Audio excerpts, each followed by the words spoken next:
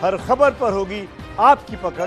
Download कीजिए ABP live app break के बाद स्वागत है आपका। आप देख रहे हैं एबीपी न्यूज़ जैसा कि कल हमने आपको बताया था, दिल्ली और यूपी के कई इलाकों को सील कर दिया गया है। सील करने के बाद अब इस समय सैनिटाइजेशन और फ्यूमिगेशन का काम वहाँ पर पूरा हो चुका है। पूरे इलाकों को सैनिटाइज किया जा रहा है। लेकिन जो खबर है, वो दिल्ली के बंगाली मार्केट इलाके से है।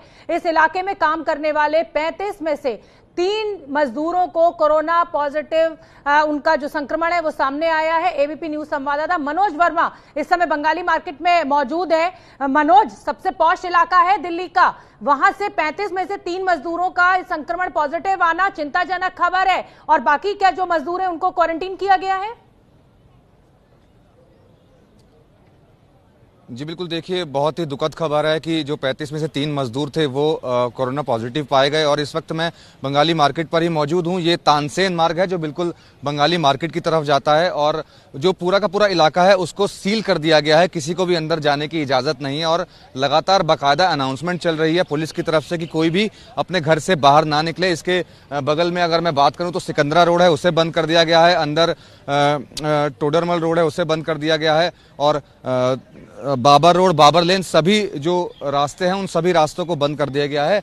किसी को भी आने जाने की इजाज़त नहीं है। बाकी के जो मजदूर थे उन्हें छोटा सा जवाब बहुत छोटा सा जवाब। ये बेकरी में ये जो लोग थे पैंतीस लोग क्या इन्हें उस बेकरी में ही रखा गया था? कहाँ रह रहे थे ये? छोटा सा जवाब।